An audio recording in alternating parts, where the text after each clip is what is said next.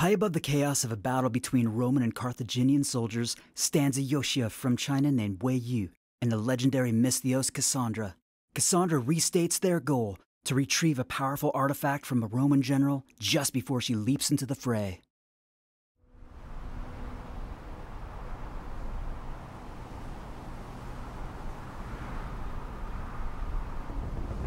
I shouldn't keep her waiting. Not bad. You're a natural at this.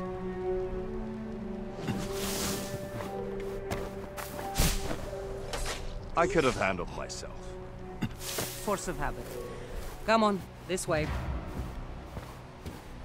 This way. I suspect the stone will be in the midst of a fight. Look alive.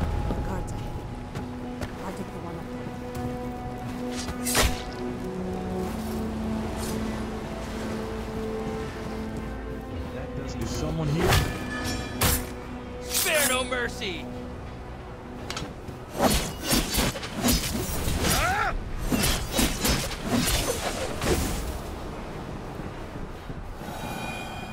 Up here!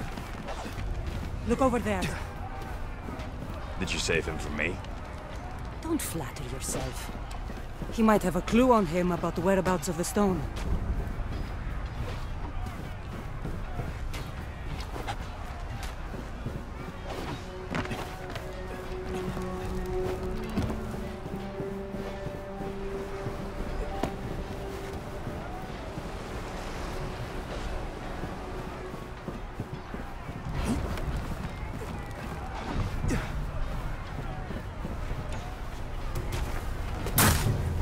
You must teach me your techniques from beyond the sea one day.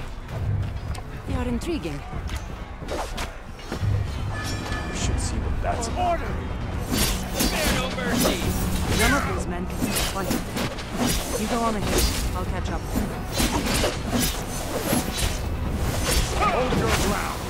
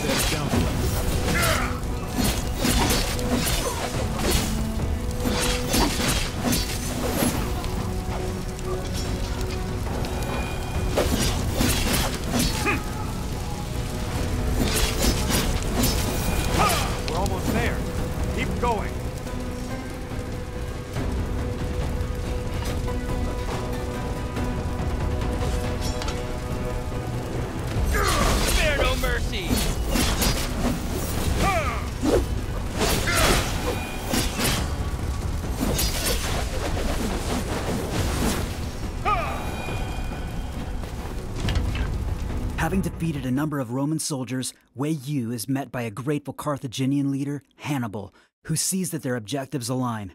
Hannibal wants the Roman general dead, and Wei Yu wants the stone he carries. That stone he had in his hand. That's what we're after.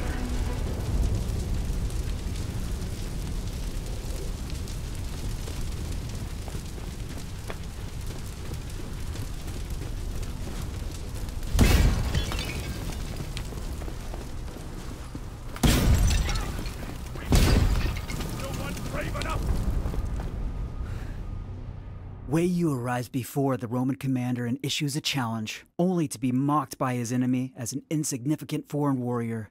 But the commander's arrogance would soon be tempered by the grace of an Eastern spearmaster.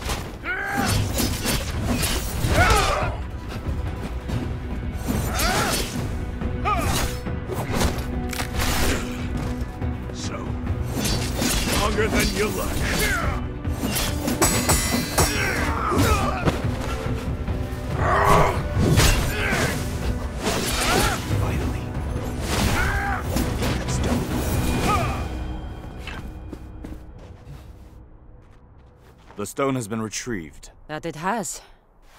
And now for me to fulfill mine. Here. In these scrolls is everything you need to know about your... I trust you will find them most illuminating. There's a blade rolled up here as well. Another gift for your disciple. I promise you they will put this to good use. Thank you.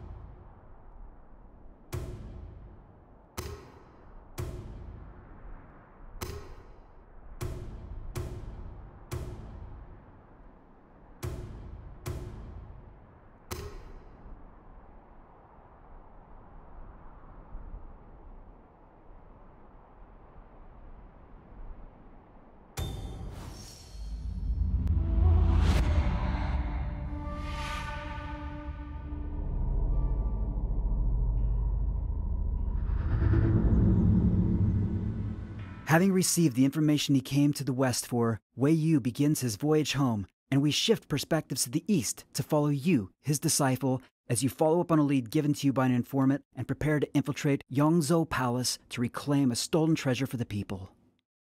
On the roofs of the palace, you and Chu Huan take note of the guards' movements. Chu Huan jokes about competing to see who can get to the treasure first and leaps down to begin the infiltration. I'll distract them. You take them out.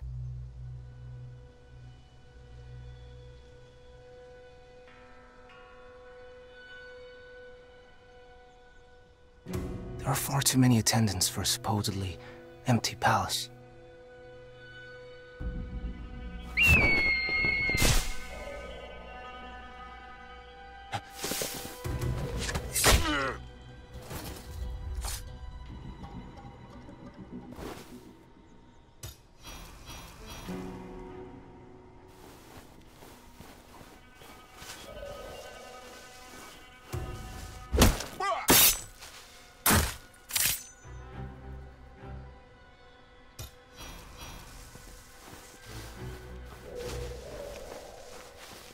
When will our shift be over?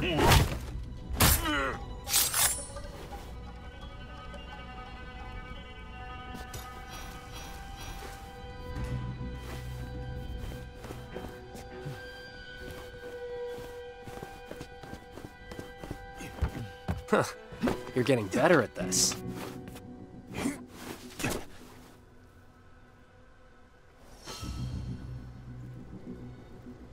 Quickly, get down. Stay in the shadows and wait for his approach. This is a good spot. Why don't you whistle to draw their attention?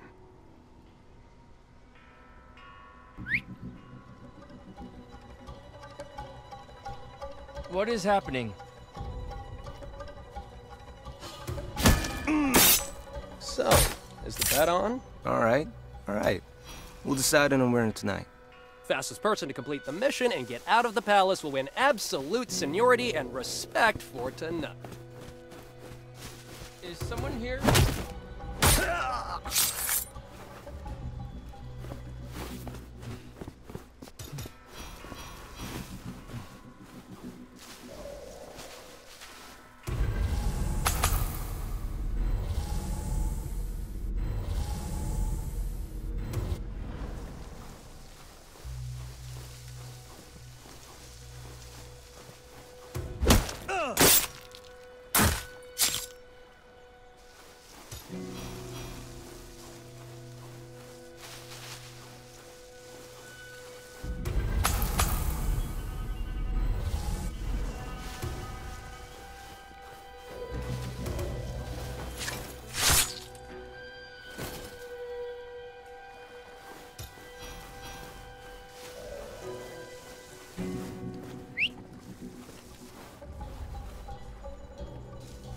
What is happening?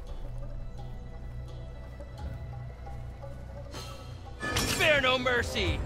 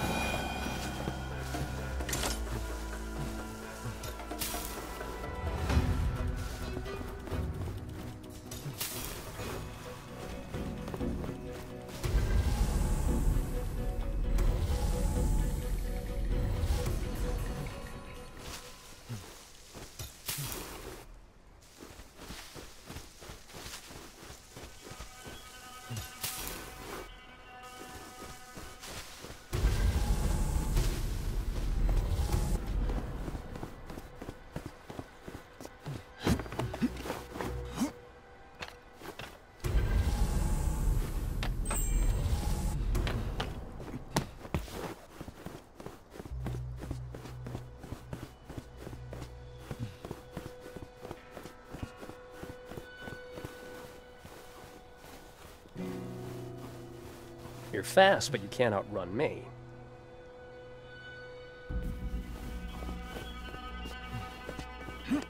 If our informant is right, the treasure's in the bedchamber on the second floor.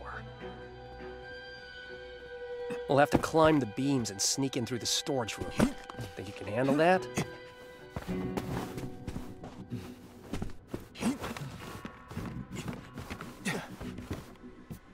Making your way across the beams, you stumble upon a tense conversation between two men of high station Zhao Gao, the Emperor's advisor, and Meng Tian, the Grand General. Curiously, they pass veiled threats between one another, hinting at discord within the upper echelons of the Empire. As their conversation heats up, however, the door to the bedchamber slides open and the Emperor of China himself strides out. Both men humble themselves in front of the passing Emperor and follow him out of the room as he leaves.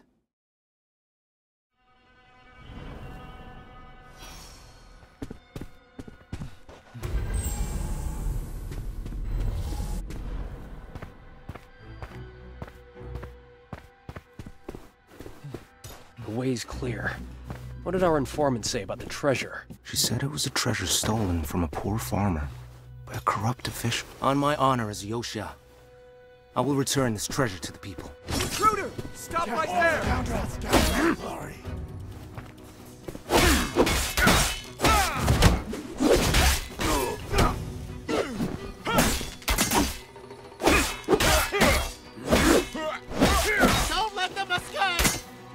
weapons! They must be assassins!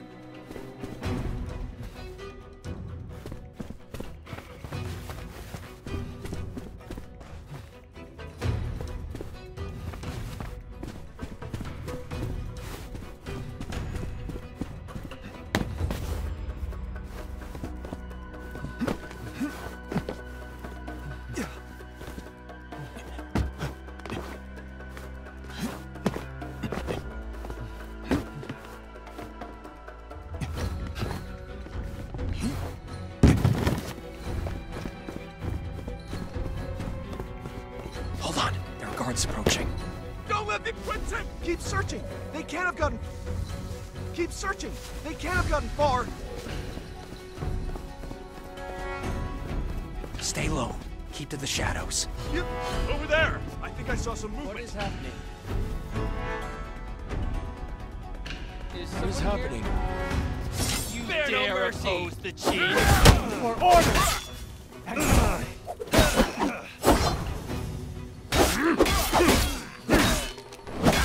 Did not expect this many guards. More information may be needed.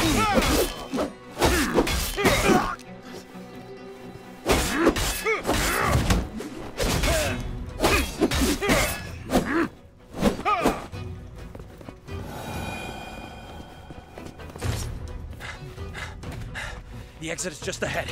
We just have to get past the square.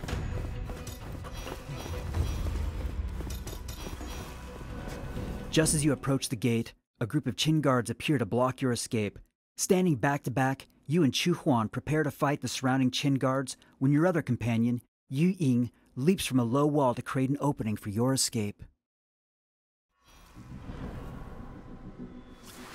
What would the two of you do without me? We were doing just fine, Aim. Ying is right to be concerned. We didn't expect so many guards to turn up. Much less the Emperor himself. The Emperor? I'll speak to her when we get back.